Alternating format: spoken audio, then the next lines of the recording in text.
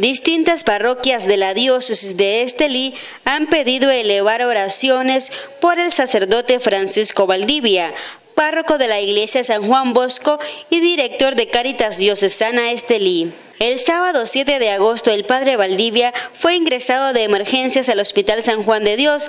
El anuncio fue hecho a través de la página oficial de Facebook de la diócesis de Estelí. Hasta el momento, el estado de salud del presbítero es reservado, así lo informaron sus familiares, quienes manifestaron que hay un grupo de personas no identificadas que se aprovecharon de su condición para hacer una colecta, donde instan a la población a colaborar para comprar medicina, situación que no es respaldada por su familia ni por la feligresía católica de la parroquia Don Bosco.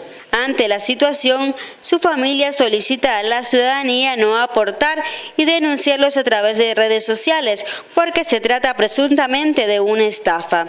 A la vez agradecieron a los diferentes sectores que se han solidarizado con la familia y que han realizado cadenas de oración por la pronta recuperación del presbítero Francisco Valdivia. Para Noticiero Telenorte les informó Marta Cecilia Camas.